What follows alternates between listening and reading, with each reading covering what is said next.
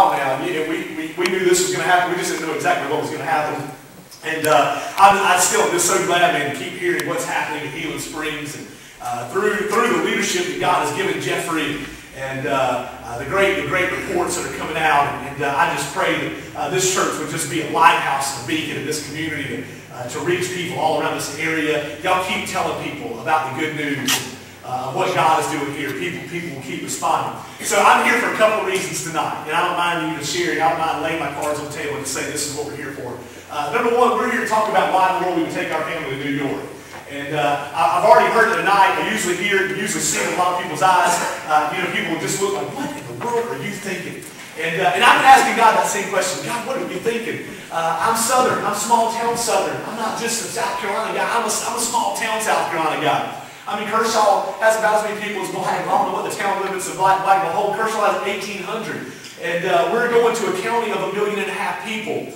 And uh, so I, I, don't know, I don't know what all God is doing, but I do know that He's called us to go, and uh, we wouldn't be doing that if we if we didn't think He was. And uh, so I'm here to talk about that, why we would do that. I'll share a couple of different reasons why, and uh, that I think are pretty compelling. And uh, I think I think when we when we hear it, we either have we either have one, one or two things we can do. We can say, God, I don't care what you're doing, or we can say, Man, God, you're going to do some awesome things. And, and so I'm going to share why we're doing what we're doing. And then I'm also going to do this. I'm going to challenge you to actually think about some things, to pray about some things, and contemplate some things. And I'm always glad when there are, are younger people here because because they're still a little more flexible than older people are and uh, because they still have a little bit more life to live. Some of their decisions aren't made and set in stone the way some of us older folks uh, get. And, uh, and so I'm always glad to be able to appeal to younger people and say, listen, there is something greater to live for than money. There is something greater to live for than sex. There's something greater to live for than happiness and your own security. And that is, that is living after and following after hard the will of God. And, uh, and, and, I love just being able to share because, because this has been a six-month journey for Tasha and I. Uh, we told our church uh, back in the 1st of August that we were going to be leaving in the 1st of March and, uh, and moving to New York to become missionary church planners. And, uh, and, and, and, God has taken us all over the place since then. We were, uh, we were going into Brooklyn. We were actually going to be moving into Brooklyn, getting a, getting a three-bedroom apartment. That's what we thought we were going to be doing. And all God was waiting on was us to say, God will go.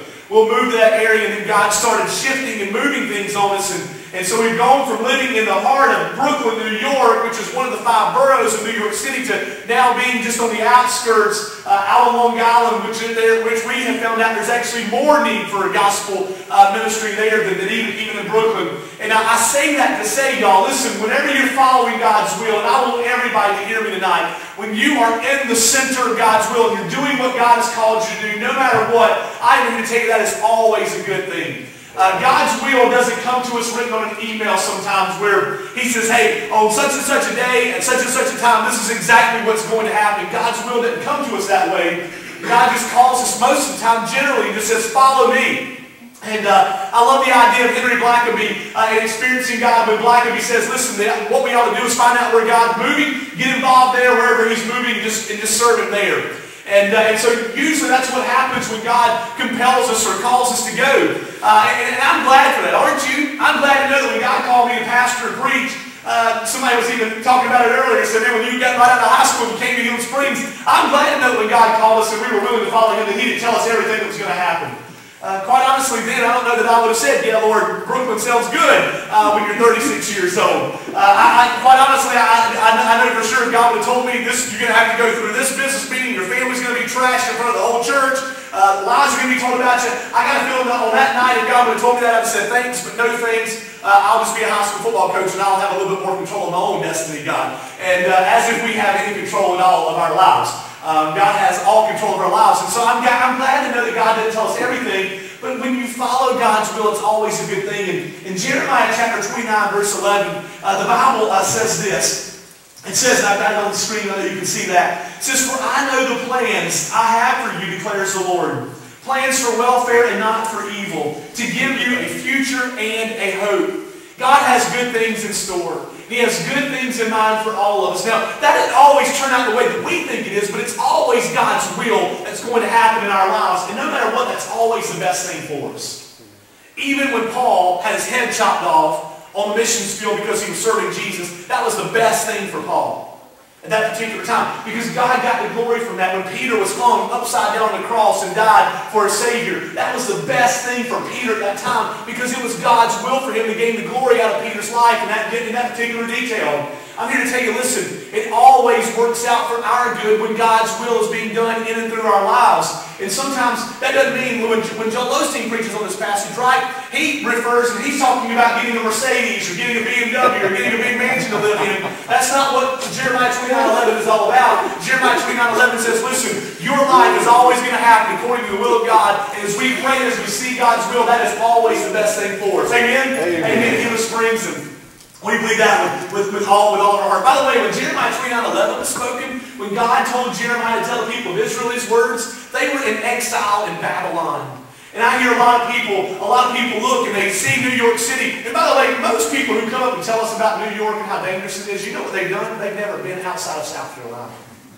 Most of those people know New York because they watched Law and Order on television.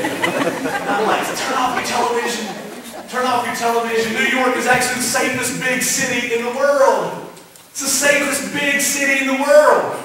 It's the safest big city in America. A lot of people say, well, you need to watch around every corner. Listen, go to Columbia, South Carolina. Have y'all watched WIS News? Columbia, South Carolina is turning into one of the most dangerous places on the planet. Charlotte, North Carolina is an hour north of us in Kershaw, one of the most dangerous cities in, in our country. Atlanta, Georgia, just right here in our good old southeastern part of the United States of America, one of the most dangerous cities in our country. That's what we found out. I don't know what, what the deal is, but all these cities in the southeast that are major cities, Birmingham, Alabama, all in the Bible Belt are some of the most dangerous cities in the, in the world. And, uh, and so, listen, you can be killed. You can be, you can, uh, somebody, somebody told me this about New York. They said, they said, now when you're walking down the road, if somebody's across the road walking the other way on the sidewalk, you better not raise your hand and wave at them because they might do something to you. I said, if I'm walking down the road in South Carolina, I'm not waving my hand at somebody across the road, they probably might do something to me too. Uh, who, who's going, hey! They're probably going to say, what in the world is that nut doing? Break out from? And so, so we, we say all those things and say, I just want you to know, here, here tonight, I, you, you need to be, I, if you hear one thing from us, I don't want you to hear, oh man, good for James Tasha. I want you to hear this, I want you to hear, and I want you to pray this for yourself. God, what do you want me to do? God, what is it that you want me to do? Have you ever asked God that question? I mean, have you ever really sat down and said, God, where do you want me to live? God, what car do you want me to drive? Lord, where do you want my house to be? I'm convinced that most people in the Southeast, you know why we live where we live? Because we live on family land, that family owned, or a lot of us did or do, or we live somewhere close to that. We live where we live because that's where our parents, our grandparents grew up, and we never have really asked God, God, where do you want me to live my life? There's no way anybody can tell me in the world that we have all these Christians in the southeast part of the United States that we call the Bible Belt. I don't believe it's the Bible Belt because most of the people don't know anything about the Bible. I call it the Church Belt. There's no way you can tell me that most of these people who live in the southeast, we've got more Christians in these states, Mississippi, South Carolina, Alabama, Georgia, are some of the most Christian or church, uh, churchy states uh, the most rigid, religiously uh, affiliated states in the country, there's no way in the world you can ever convince me that God just called all these believers to stay where they are when the rest of our country is dying and going to hell, when the rest of our world is dying and going to hell. There's no way you can tell me I have seriously and I have seriously contemplated and meditated, God, where do you want me to live my life? And he told you to stay in the southeast. There's absolutely no way. Because our lives are supposed to be lived with a different purpose in mind. And we live with the purpose of God. And God's purpose is to save the world. I want you to know that tonight. And, and, and sometimes we'll say, well, God, I, want you to bless me. But we really, what we don't begin, we say, God, I want to follow you. I want you to bless me in that. But usually what we say is, God, this is what I'm going to do. And I want you to bless what I'm about to do. Instead of saying, God, I just want to do what you want me to do. And I know I'm going to be blessed in that. And, and by the way, that's not the Christian walk. That's not the Christian life. The Christian walk is we follow God and we go where He leads us. Even though we may not know what in the world that looks like, we don't know what all the details are going to look like, we follow God because He has sent us. We've learned a lot about faith over the last six months. We thought we knew about faith, and uh, we, we have learned an awful lot about faith over these last six months. By the way, Tasha and I, when I, when I leave Friday morning, Um, we're going to leave hopefully around like I said between 5 and 5.30. And we hope to get to, uh, we hope to get to Long Island, our house in Shirley, New York. We hope to get there by about 8.30 that night. It's going to take about 15 hours is what we're thinking to drive, uh, drive there. That will be the first time I see our house. Um, we still haven't seen our house. We haven't even seen a picture of our house, by the way. Um, we, we, God has actually orchestrated it for us to live in parsonage, and the last pastor who came in trashed the place. And so some of our friends have been painting it for us. Um, they went in and painted it. He said, he said, it's okay. It's actually livable. It's just a little dirty right now, so we're just going to paint the walls. He said, I will send you pictures as soon as we get done. They're not done yet, so y'all pray to get it done by Friday um, at, at 8.30. That way some of the stuff will, will, will be, be dry. So that does lead me to show you why in the world, in case you don't know what our, who our family is, this is our family. And, uh, and I put this picture because if you do know our family, you know this is our family. And uh, this is what things are like around the Rogers house. And uh, so mom's usually a little more under control in this picture, so, uh, um, but, but dad, dad, is, dad is certainly this way. What leads a family? What leads a family like ours with four children?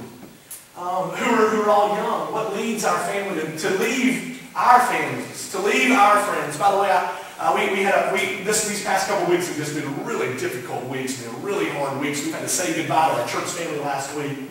Um, we said goodbye to some of my family members last, uh, last uh, Saturday. Uh, just last night, my hunting partner, um, Tasha uh, calls him my boyfriend, um, my hunting partner, my fishing partner, and I've been, I've been spending time with uh, on a regular basis for the last six years. Man, he and I, he's a big old guy, a big old guy. We were both hugging, crying, crying on each other's shoulder. and uh, we were trying to laugh it off. And what causes us to leave? What causes us to leave our home, our family, our friends? and go to a place where we have never lived, none of our family has ever lived there, what would cause us to do so? Well, I just want to walk through, first of all, some biblical reasons why. I want you to know, listen, Scripture compels us together.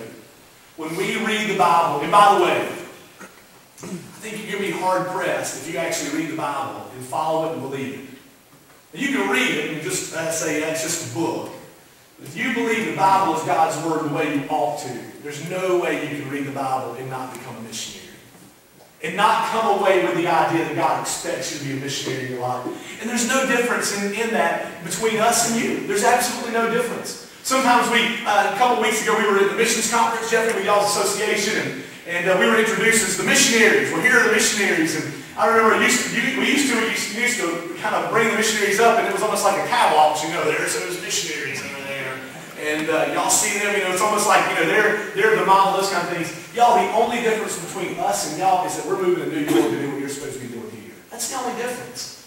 Uh, we're, trust me, I, can go back to the picture. I promise you, we are nothing special. Um, this morning, we were we left our house at 7 o'clock this morning, headed to Lexington, South Carolina. And, uh, and it was chaos in our car, man. I mean, chaos. We just bought a brand new car so that our family could all ride together in New York. And and, uh, and so, uh, so, so we're on the way, and we got this new DVD player, and it ain't working right. I mean, we, it's working right. We just can't figure out how to do it. I, I mean, our kids are, they're playing paper, rock, scissors, and you know what happens when you get an 8-year-old, a 6-year-old playing paper, rock, scissors? The rock starts just beating everything, right? Don't just beat the scissors, it beats your sister as well. And, uh, and so we, we got paper, rock, scissors going. We got kids crying. We got, we got me and Tasha. I'm just over here laughing, just thinking this is chaos, and Tasha's trying to keep it all together, all of her hair in her head, and all those kind of things. And, and, then we got to the church, we were sort of joking about, we were laughing about this. She said, all right, now it's time to start acting holy. We're in church now. We're in church now. We're just like you are. There's nothing special. Any y'all know what I'm talking about? Right? You fight me, fuss all the way. All right, all right, put a smile on your face. so excited. Uh, preacher, you got it all in control. No, that's what Except we just we just stopped faking it now. You know, we just started. Uh, I look at some people in the church, and they just know it's been a bad morning. Right? That's why I leave early, Jeff. I don't know if you do or not. I just leave our house early on Sunday morning just to say, oh, peace. Give me some, give me some peace. What what causes us to? Well, Scripture compels us.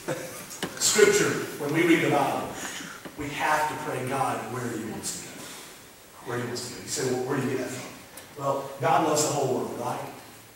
John chapter 3, verse 16. It's a verse that we know. I know, I know this sounds wrong.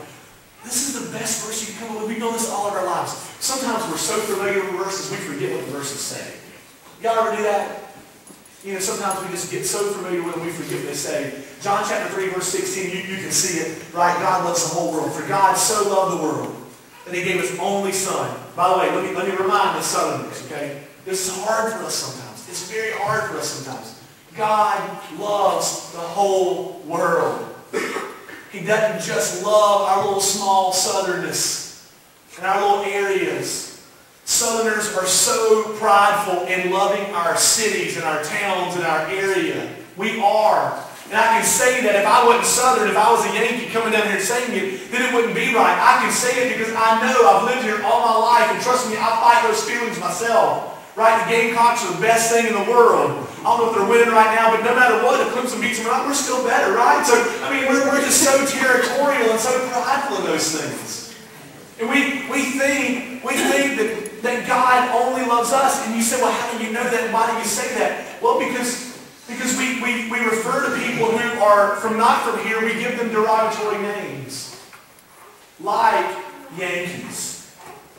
I, I mean, we, we say that so derogatory. We, we've got friends of ours who are, who are Asian, who live in Kershaw. They're the only Asian couple that live in Kershaw. Um, they run a Chinese restaurant, and I hear it so often because they're not from South Carolina. They're not white. They're not middle class. And what do we hear? We hear this from all of our friends. Oh, you're going to go eat that rat and that cat, huh? And what I want to do is I want to punch somebody because they're talking about my friends. See, those people are real people. They're not just the people who run the Chinese restaurant. They are real people. They're not from here, they're from China. But as I read John chapter 3, verse 16, the Bible says God has loved the world. He loved the world so much, what? That He sent His only begotten Son. That whoever believes in Him that African American, that Asian, that Indian who runs these gas stations around here, who manages the, the motels and the hotels, that whoever believes in him, that Yankee who has that who has that thick nasally accent that we just can't stand as Southerners, that person, no matter who they are, if they believe in him, they would not perish, but they would have eternal life. God loves the whole world. And we need to be reminded that we need to see the world the way God does because often don't. We need to have a, a heart shift and say, God, help me to see people the way that you do. God loves the world, the whole world. As a matter of fact, in Romans chapter 10, here's what Paul says. Paul says, uh, let me get my, my verse uh, here. Paul says this, How then will they call on him in whom they have not believed? And how are they to believe in him of whom they have never heard? And how are they to hear without someone preaching or someone going and sharing? And how they preach unless they are sent? As it is written, how beautiful are the feet of those who preach the good news. But they have not all obeyed the gospel. Here, there we go. But they have not all obeyed the gospel. For Isaiah says, Lord, who has believed what he has heard from us? So faith comes from hearing and hearing through the word of Christ. Listen, it's one thing that, that we know that God loves the world, but it's another thing for the world to know that. And I know, I know what we think. I know what we think. We think, well, doesn't the world know that? Healing Springs, Gents Branch, let us not be so naive to think that our world knows the story of the gospel. And the week after Thanksgiving this past year, we were actually at a church presenting. We weren't even going to Long Island. We were just going to Brooklyn. And right in the middle of the message, Jeffrey, right in the middle of the sermon, man, I'm preaching on a Sunday morning to this church, sharing our story. And this woman just speaks out. I mean, she just answers. She starts talking to me from, from, the, from the crowd. And, uh, and, and, I mean, she, and this is what she said. She said, this guy knows what he's talking about. Y'all need to listen to him.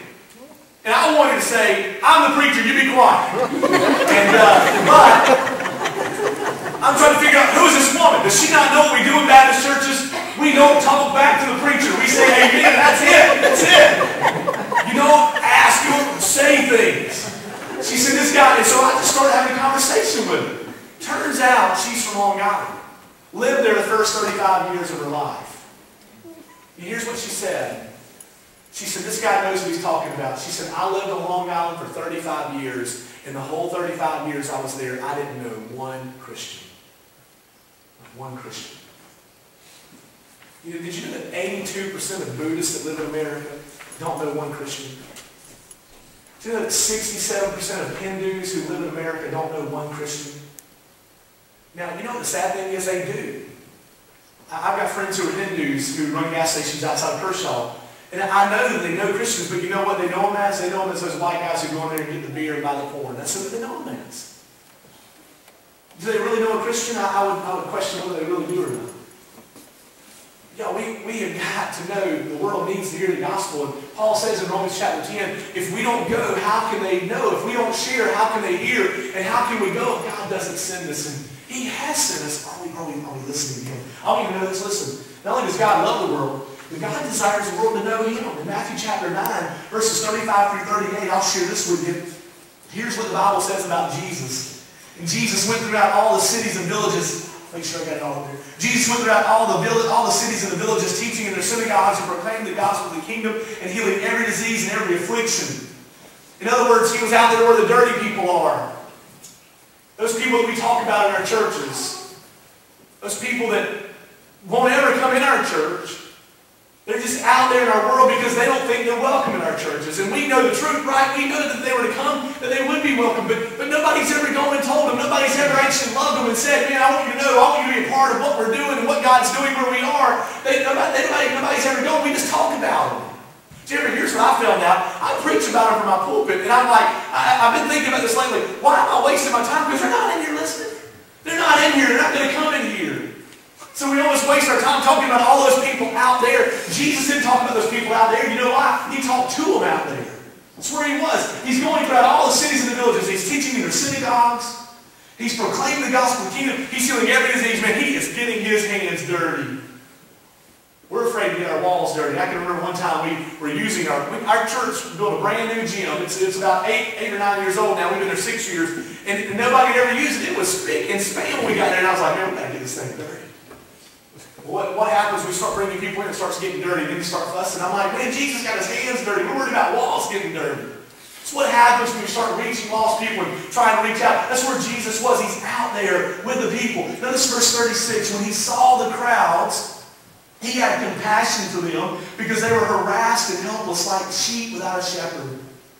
Then he said to his disciples, The harvest is plentiful, but the laborers are few.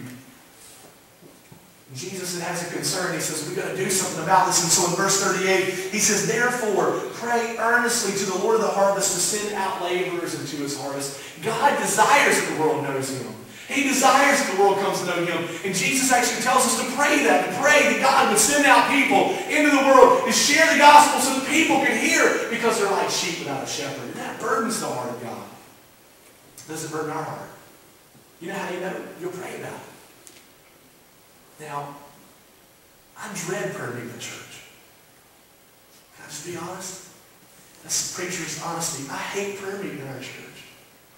Every, and it's been that way every church I've ever been to. Church has prayer meeting. You know what they're praying about? Praying about grandma in the hospital. Uncle Joe, who hurt his toe, he stuck his toe on a log, and so they're praying for him because he's not feeling good. Um, Sister so-and-so's back's hurting and we need to pray for it. Listen, I'm not saying we don't need to pray for those things. I'm just telling you, Jesus tells us in Matthew chapter uh, 9, verse 38, that we need to pray to God that he would send out laborers into his harvest. And we don't just need to pray for that, but we need to pray that earnestly. We need to pray that with a passion. When's the last time a prayer meeting, man, you just had an hour-long prayer meeting just to pray that God would send people out in New York to, to, to see people saved. And you had that kind of prayer meeting start driving people away from the church because then it's not about us. It's about all those other people out there. And that's who God wants us to be concentrating on. So funny for us to be going to Long Island now because uh, I called some church planners and their church had been praying, God, send somebody. We need workers up here in New York. And they identified a university uh, called Stony Brook University, which was about 20 minutes from them. They identified this, this, this university, and they needed, they wanted somebody. They were praying that God was going to send somebody to Stony Brook University and come and do some work around Stony Brook University to try to reach these students with the gospel. Now, Stony Brook University is a major university in Long, in, in Long Island. 24,000 students. That's bigger than USC. It's bigger than Clemson. This is a major, major, major deal school. And so they start praying, God, send somebody. Well, guess what happens? Tosh and I have had a heart for college students for a while now. And, uh, and if we could have picked anywhere in the world we wanted to go, we would have gone somewhere to work with college students. And so we said, hey, you know, we, we want to, you know, wherever you guys think of that you just need somebody to serve, you know, we would love to serve there, but we would love to target college students. You know, God just laid that burden on our hearts. They just started praying the week before, God, send, send us somebody to target Stony Brook University. And so here they're praying, the church is praying, God, send somebody. We call next week and say, we want to go to Stony Brook University. Man, send us. God answers those prayers. By the way, you can't pray for the world to be saved. You can't pray that God will send out uh, souls or, or workers into the field without being one of those workers in the field. In Matthew chapter 9, verse 38, Jesus says, Pray to the Lord of the harvest, he might send forth laborers into his harvest. Guess what happens in Matthew chapter 10? Very next verse. Here's what Jesus does. He's talking to his disciples in Matthew 9, 38. Pray that God will send out laborers into his harvest. In Matthew chapter 10, Jesus looks up and says, Go. Go to the harvest. Hey, the same people, the people who are willing to pray to the Lord of the harvest and he would send out laborers into his harvest, listen, when you start praying that prayer, he's going to use you to get out the harvest and start reaping the harvest for God's sake. That's what God does. God has a desire to see the world saved. We, we all know this passage, right? Matthew chapter 28. Uh, Matthew chapter 28, look at verse 18. Uh, the Bible says that Jesus came and said to them, All authority in heaven and on earth has been given to me. Now, we are going to, we're going to New York. I don't know if any of y'all know this or not, but there's a mayor up in New York. His name is de Blasio. Uh, some people say he is going to be a four, uh, just a four-year uh, mayor, uh, one-term mayor. Uh, this guy's a, he's a crazy, cra like liberal politicians look at this guy and go, you're liberal. Mean, that's pretty bad. When CNN calls you liberal, you're pretty bad, right? I mean, things aren't, aren't probably where, where they need to be. And so CNN calls this guy liberal. And, uh, and so here's what he said. He said, listen, if you're a conservative, you are not welcome in my city. You're not welcome in New York City. Well, Mr. Mayor, and I, I, I wish I could see him. Because I would love to tell him, I know somebody who has more authority than you do, and he has told me to come. Right? Jesus said this. All authority in heaven and on earth has been given to me. So look at verse 19. Go therefore. Listen, y'all, this is why we go. We go because Jesus has the authority. The mayor, the, the, the governor of New York says, hey, we don't want Christians here. You're not welcome in our, in our state. We don't want you here. There's no room for you. And Jesus has told us, I am the authority. And I have told you to go and to make disciples of all the nations, baptizing them in the name of the Father, the Son, and the Holy Spirit. Teach them to observe whatsoever I have commanded you. And remember, I am with you always to the end of the age. That's why you go. That's, that's why you go. Listen, every one of us ought to pray and ask God, God, where do you want me to go? The question is not, do you want me to go? Right? We don't have to pray, God, say, God, do you want me to go? We know, because I, I, just I could walk you through some more verses, by the way. Y'all need to do that?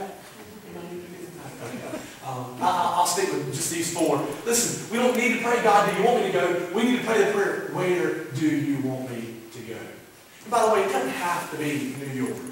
I'm going to give you some reasons why it ought to be New York, why we're going to New York, and why I think you all feel compelled to actually maybe go outside to maybe one of our cities and uh, in, in, our, in our country. Um, but, but we know, we can see clearly why God wants us to go. By the way, this is clear all, all the way through throughout, throughout the Bible. When, when Josh and I ask this question, we hear the answer from New York. And I want to just kind of show you why New York City. Why, why New York? Okay, why, why New York? Well, first of all, uh, New York City, the metropolitan area of New York City is the most important uh, city on the planet. Did you hear me? It is the capital city of the world. What happens in New York City is more important to the world than what happens in Washington, D.C. Now, our president might disagree because he's pretty pompous, but what happens in New York City, it, it affects the whole world. It is the capital city of the world. Forbes magazine said this in 2010. It called New York, the metropolitan area of New York, it called it the city with the largest global impact and most influence in the world. And that is true. New York City is the financial, the media, and the fashion capital of the world. And the world is coming to New York City. Before I put the next slide up there, New York, by the way, when I talk about New York City, I'm not just talking about the big buildings. I'm talking about the whole metropolitan area of New York City. It's a circle that's 75 miles in radius, okay? So if you put a dot in Times Square, New York City, and everybody, everybody knows what Times Square is. If, if you've ever watched the ball drop on television, you know what Times Square is because that's where it is. Now, so this year, December 31st, 2014, when you're watching the ball drop, don't turn the television on too early because Miley might be on. So you got to wait a little bit later. It's a little bit safer, closer to, to, uh, to, to, uh, to midnight you get. But when you turn your television on and you watching Ryan Seacrest and he's watching that ball drop, that's in Times Square. Okay, so if you put a dot in Times Square and you draw a circle around that dot, 75 miles in radius, Anybody want to guess how many people lives in that circle? If you look at my flyer, don't answer. How many? 15 billion. Billion. No. There are 15 billion people on the planet. Yeah. that's you said it was the most influential place. In that, that's right. That's right. That's right. That's a good. That's the best guess I've heard yet, though. Two billion, not quite, not quite. A few more than that. I'll tell you. Let me show you. 22.2 million. In that circle, in that 75 mile radius circle, y'all, there are 22.2 million people. All right, let me just compare real quick. South Carolina. Anybody know how many people live in South Carolina right now? 4.3 million. 4.3 million in South Carolina. So this circle has five times more people than South Carolina does, okay? And they're all crammed in a little small spot. And, uh, and there are, by the way, there are more missionaries than us going up there to reach. So that's, that's, what, that's what's exciting. So 22.2, by the way, this is a big old story, right? I'm just doing this because I don't want to stay smart about the whole time. And uh, so 22.2 million people, and, and, and, and, and, we love this, we love this fact. If you just look up here, 200 countries are represented in that 22.2 million. Over 800 languages are spoken in this circle. Some people wonder, you know, the immigration um, all, all that kind of rigmarole and all. Listen, I don't care where you stand on that immigration debate and all that kind of stuff. Although I do think we ought to think with the eyes of Jesus and not the eyes of America, okay? Um, so wherever, wherever you stand, people wonder why is the world coming here? You know why? Because Jesus told us in Matthew chapter 28 to go. You know what we didn't do? We didn't go. So God wants the world to be saved. So you know what he's doing? Instead of us going there, he says, hey, you've been lazy, you won't go there? I'll just bring them to you prideful Americans, and I'll bring them to you because that's what I want, I want to see people saved. So they're in New York.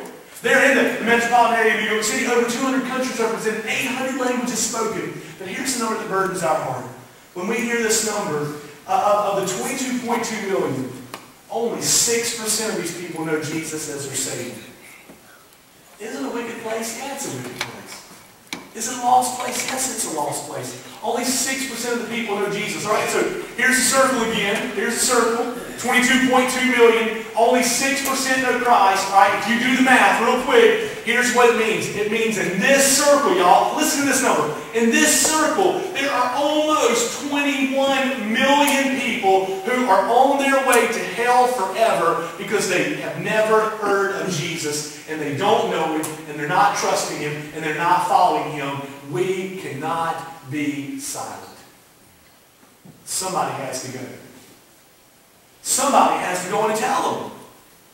When you hear that number, 21 million people, there's a gigantic harvest of souls. By, by the way, 6% encompasses the metropolitan area of New York City. In Long Island, where we're going, the number is 2% know Christ. There's one county, Nassau County in Long Island, a million and a half people in the county of Nassau County. There's only one English-speaking evangelical church to reach the million and a half people.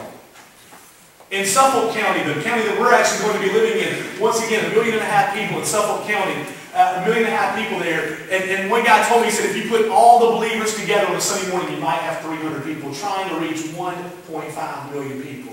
Somebody has to go. There's a gigantic harvest of soul. People wonder, well, do we need missionaries? Do we need churches there?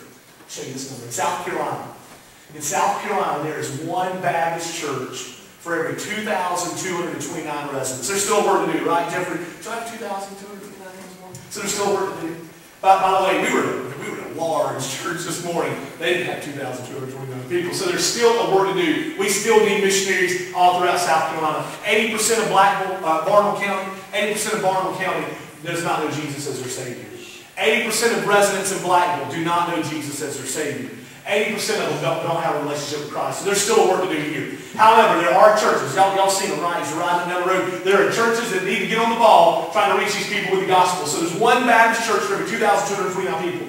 In New York metropolitan area, there is one Baptist church for every 76,337 people. There's a vast need of people like me and Tasha to move families to this area. Somebody has to go. When we hear these numbers, when we see the people, when we talk to the people, our hearts break. God's been doing this to me for, for a long, long time. And we should have done this 10, we should have done this 10 years ago. We just didn't have the faith to follow the Lord to do that. Honestly, that's just honest. Because God has always burdened our hearts with, with these numbers.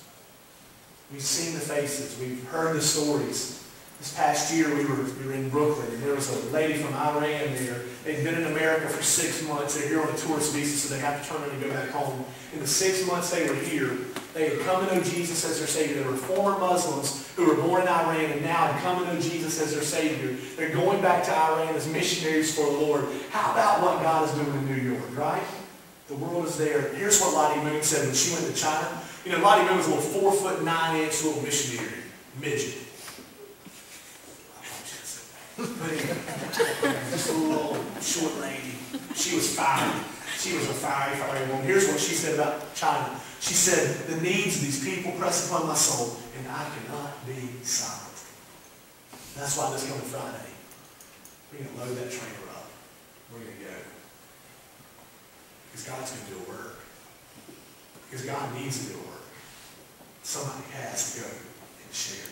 So our plan is, our plan is to plant Transformation Church. Uh, um, this is, the, this is the, the, the desire, this is the, uh, the vision of our heart, is to go up and not only see people saved, not only see people pray to receive Christ as their Savior, but then what those people do to organize them into a body of believers, a church, to say, listen, we are here to, to see people saved, so we're going we're gonna try to uh, share Jesus with the lost. But then when we share Jesus with the lost and they pray to receive Christ, by the way, every one of you, this is where you fit in. You fit in here in every church. You ought to be reaching people with the gospel. But when you do, you are to be growing in your faith. And so we're calling people to not just, not just salvation, we're calling them to a life of transformation. That's what God's been doing in my life. Man, for the last three four years, God has grown me just immensely personally. And uh, I'm not the man that I was five years ago. And I pray that five years from now, I won't be the man that I was tonight. In a, in a better way. In a better way. Um, I, am not the same person I was because God is transforming me. Now listen, if you know Jesus as your Savior, I'm here to tell you, when you trusted Him, you just started a journey. You are not done yet. And you won't be done until God calls you home. When he calls you home, he's going to immediately glorify you and make you glorified. But I'm here to tell you, until then, he wants to make you more like Jesus. And there's a work, and so we're calling people to that lifestyle. That's what the church is. The church has two primary purposes, and this is what we're going to try to carry out. Every church has two primary purposes. Number one, the church is to be reaching lost people, and number two, is to be growing those people that it's reaching into spiritual maturity. That's what we're trying to do. Try to see people saved and then try to mature them spiritually. And that's where that's where uh, churches like Healing Springs come in. You know, this church has already uh, blessed us financially. Did you know that? Um, you say, what can we do? Where, where do we come in? Uh, we, we, are, we are out. We've been doing this for six months now, uh, trying to find financial support. Um, we don't mind sharing that. Uh, if you have ever lived in the northeast of the, if you've ever lived in any big city, by the way, you know this. You know it's more expensive to live there than it is in the rural areas. Um, in New York, just to kind of give you a comparison, we're not having to pay rent this year. You know, way to go, God. God, God did that. Um, we're not having to pay rent this year. We're going to be staying in a parsonage that does not have a pastor, of a church that does not have a pastor. God worked that out completely. Um, and, and, there are no strings attached. Like we don't have to go to that church and help them out. We, they're just letting us stay because, because they're kingdom minded. They're just partnering with us just like other churches have. So this church, y'all's church has already partnered with us, so a Sunday school endeavor, but it costs a lot of money. It was going to cost us um, and this is going to be year two for us, it's going to cost us $2,500 a month in rent. That's just rent. That's just a fact. And so, and here's what here's what here's what Satan is doing, right? Because God's trying to do a work. Y'all ever seen that movie, The Chronicles of Narnia? Um, I love I love the book, The Chronicles of Narnia. The movie's good too. And uh, there's a there's a point in the movie where, where Mrs. Beaver comes in and tells the children, she says, Aslan is on the move. And Aslan is Jesus. Like he's the illustration of Jesus. And, and, and I'm here to tell you, in New York, God is on the move. He's on the move. If you could meet some of the missionaries that I have met, they are the kind of missionaries that say, where's my water pistol? I am ready to charge the gates of hell. And that's kind of people I want to be with, right? I want them to have my back, and I want to have their back. I'll get the foxhole them any day. That's the kind of people who are going there. Because it's hard, it's difficult, and God is doing. You say, well, if it's so hard and so difficult, why go? That's exactly why you go. Because it is hard. We had one person come up to Tasha uh, one night, and he was trying to deter her, and he said this. He said, don't you know that place is evil and wicked? What in the world are you doing? She came up and told me that. I said, man, we got to go.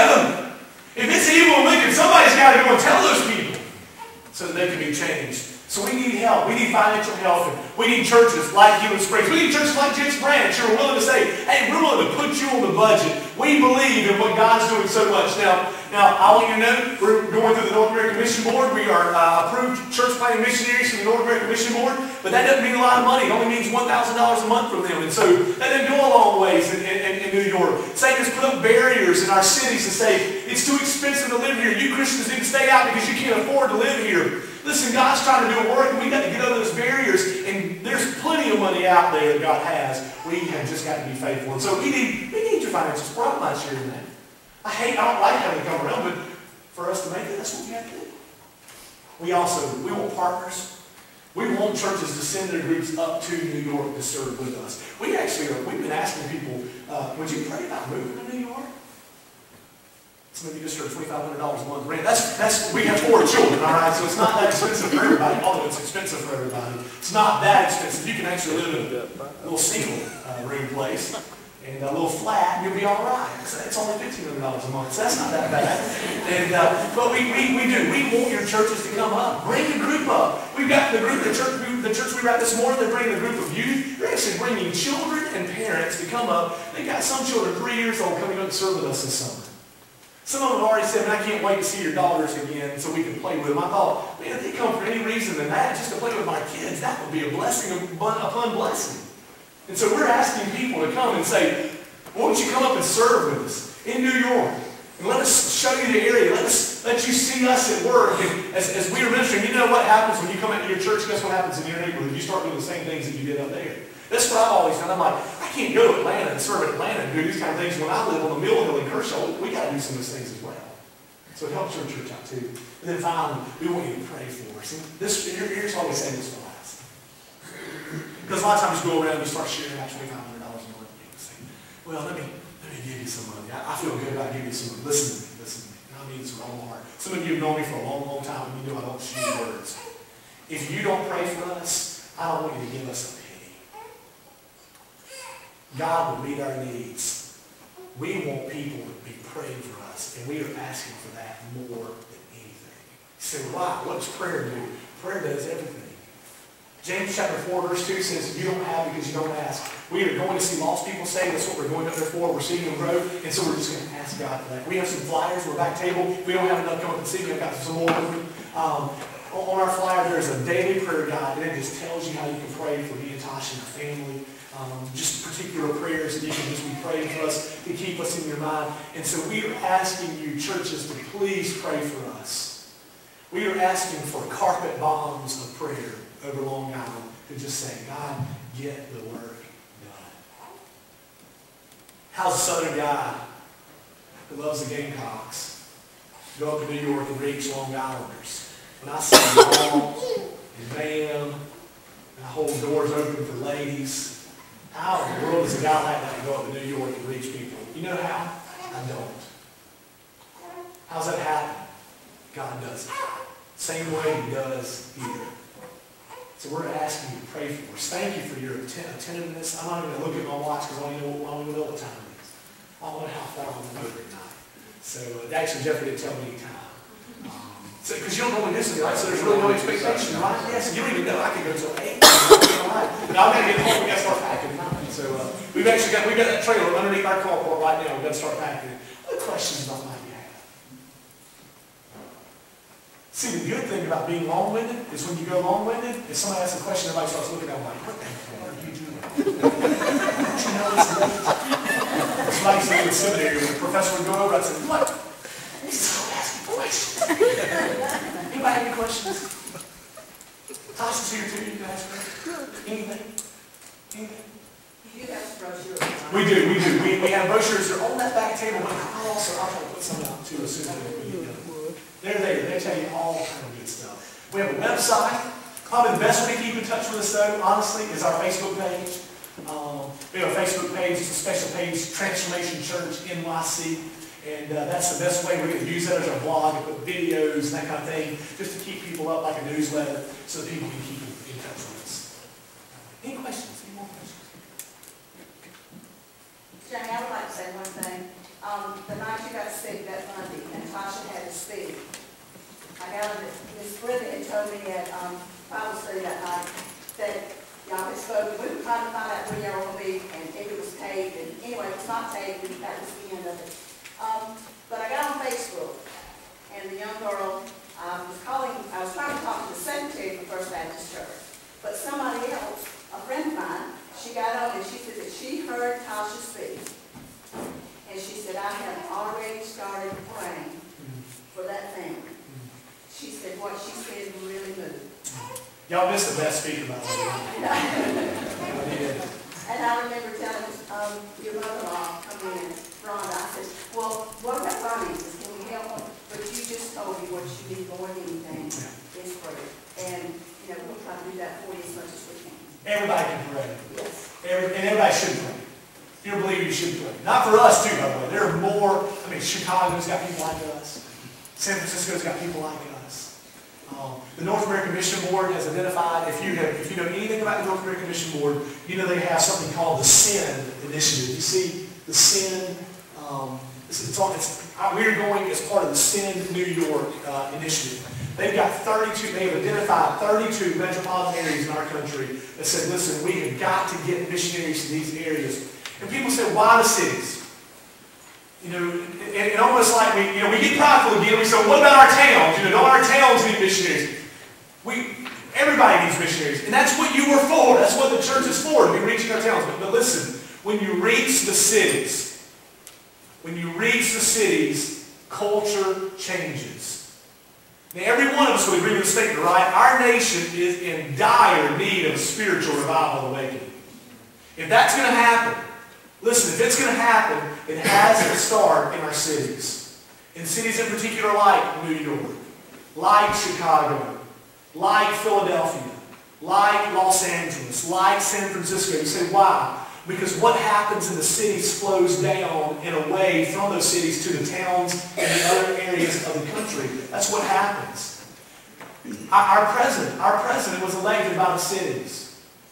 I don't know if you've seen a map of the election, of the election results. Towns did not elect President Obama. The cities did. And I'm not saying President Obama is evil or. I'm not saying anything like that. I'm just saying it was the cities that determined that. And so if you're going to, you know, if, if you were to, if we all used uh, the Edisto River, and, and this is a big deal, right? I mean, around here, that's been the fight, right? The Edisto River, they've been draining water out of the Edisto River for that, for that potato farm.